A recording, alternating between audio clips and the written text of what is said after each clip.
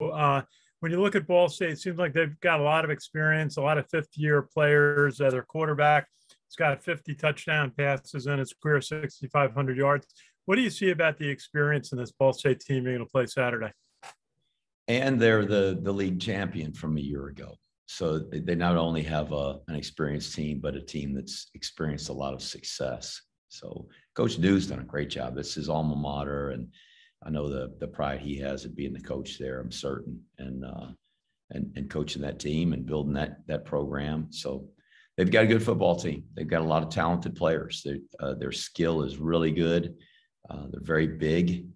Uh, their defensive line. We, there one guy was listed uh, earlier in the week in the two deep. We got it was uh, six foot and a half inch, and we watched on film. We're like, "There's no way that guy's six foot and a half inch." Well, it turns out they they redid the the heights and weights on the uh, on that guy came back today is six five. So uh, the the point five uh, they took the point out and he looked a little bit more like he did on film. So they they're big rangy guys and and uh, just I know they got a good football team and it's a challenge to go on the road and play at somebody else's stadium.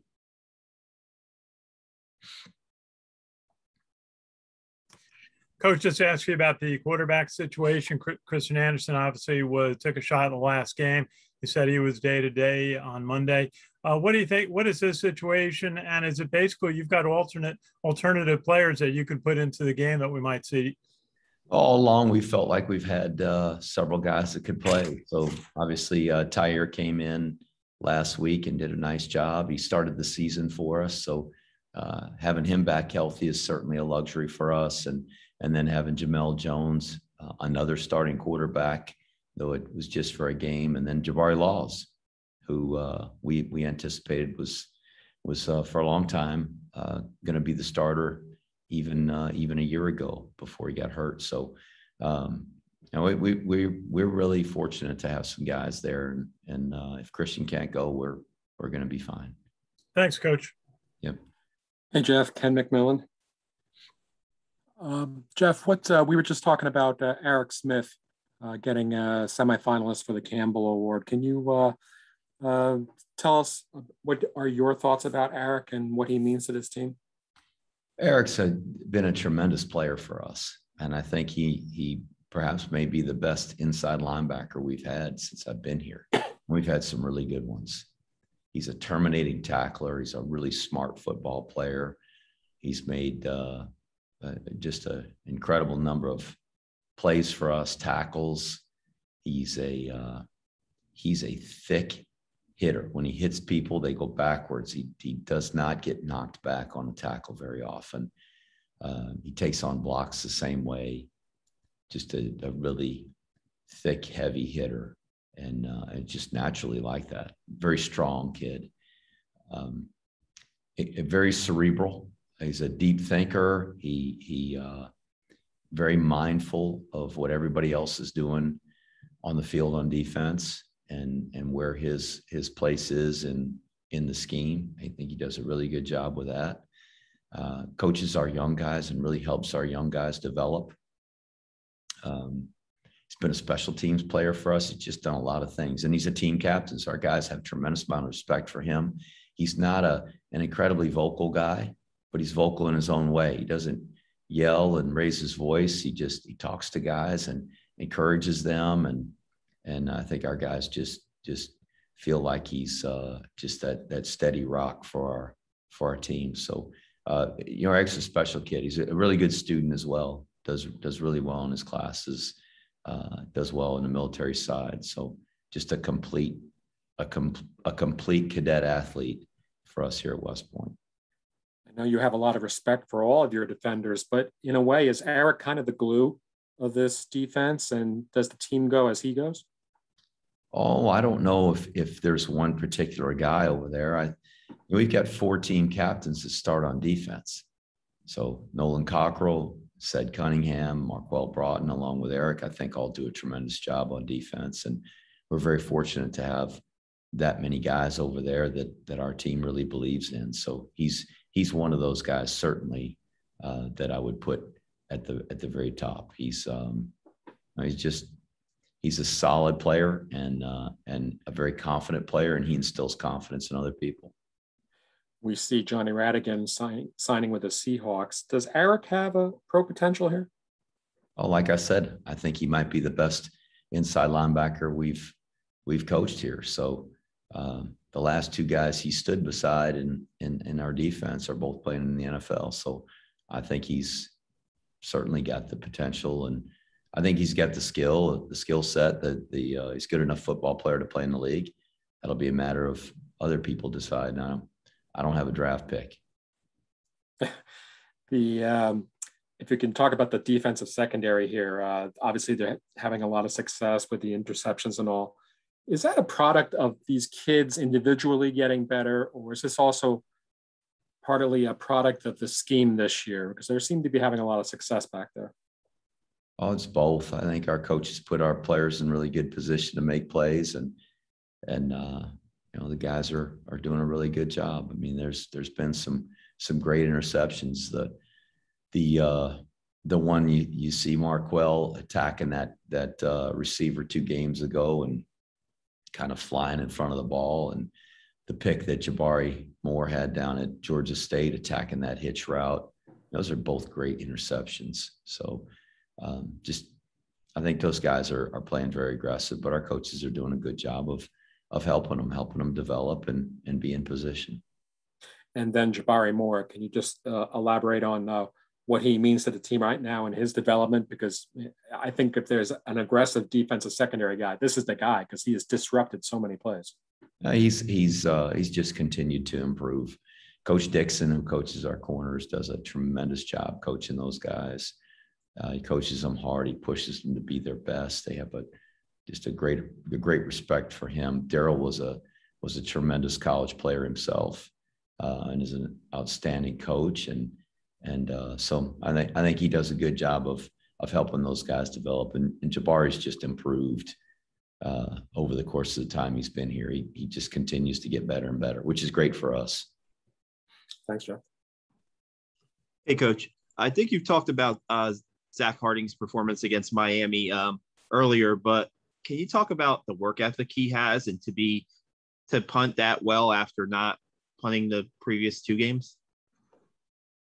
Well, I mean, he punts a lot. He punts a lot in practice and uh, punts in pregame. He's he's uh, he's ready to go every game. Just so happens we had to send him out there last game uh, a lot more often than we would have liked, but uh, but he did a great job and he's prepared and ready you know those guys are so different from other players those those guys on offense and defense they play the game and they might have one bad play and then have a another couple of good two or three or four or five plays and then have another bad play. Uh, those punters and kickers and snappers they can't have any bad plays. It, it, it gets noticed. They trot out there for one snap and that's their uh, that's their resume until you see them again. And uh, as in terms of our punter, I hope we don't see him at all the rest of the year, but uh, we we likely will. I think he's he's uh, a great talent, and he works really really hard at his craft. He's very professional, uh, very serious about about being a good player at his position. Coach Saturnio is is working wonders with those guys, not only the specialists but our our special teams units in general, and uh, and Zach's a really good player. And that's a guy too that, like Eric, that I think has potential to play at the next level.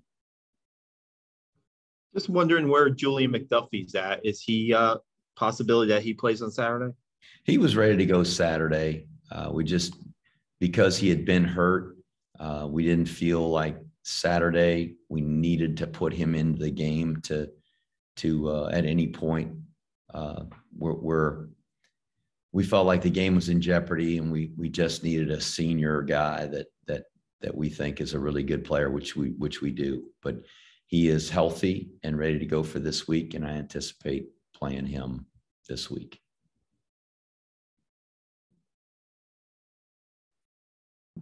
jeff can you talk about the the punt blocks last week uh, was it a product of the the scheme what uh, how miami was defending or have you guys kind of made a lot of progress here?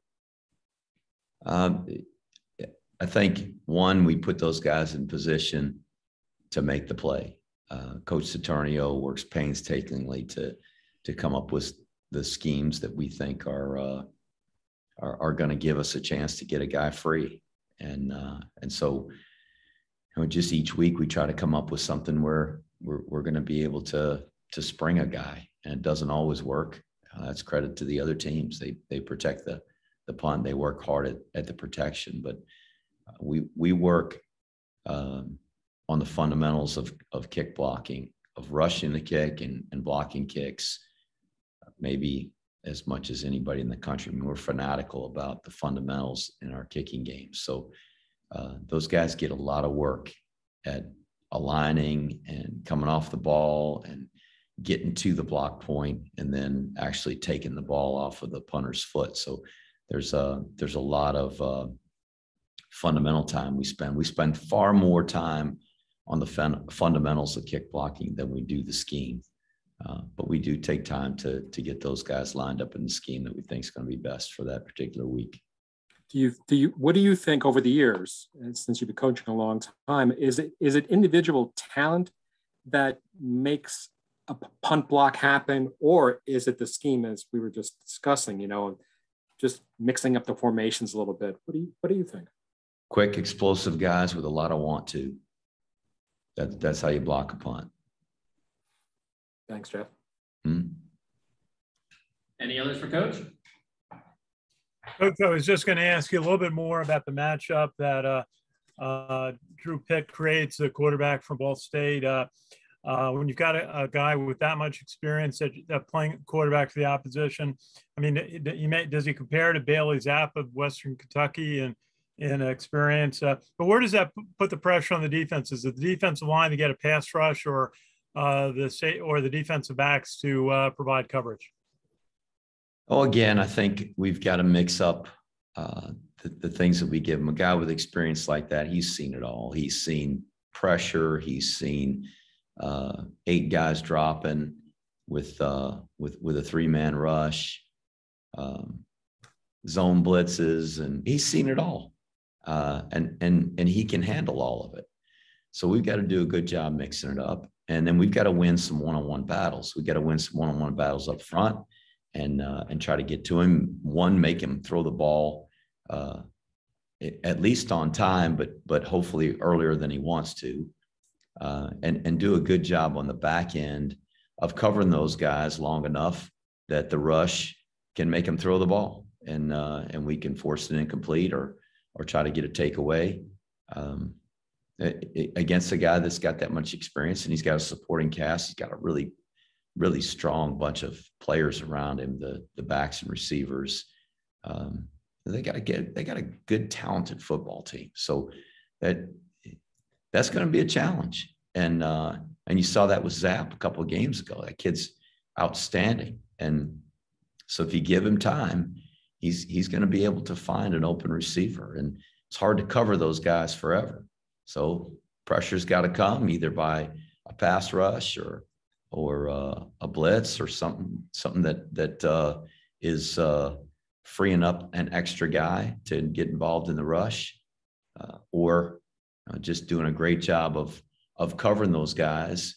Uh, and and he just decides, look, I'm out of time. Here comes the rush, and I should have thrown it a second ago, and I got to let the thing go. So I think Coach Woody does a really good job of of getting us in a in a, a plan that uh, positions our guys for success. The bottom line is the players have to execute. It's just like the kick blocks. We can give them a scheme and we can practice the fundamentals. When it comes down to it, they got to go make a play. So that's uh, that's what's got to happen on Saturday. We have 11 guys working together and and uh, and the right guys make a play.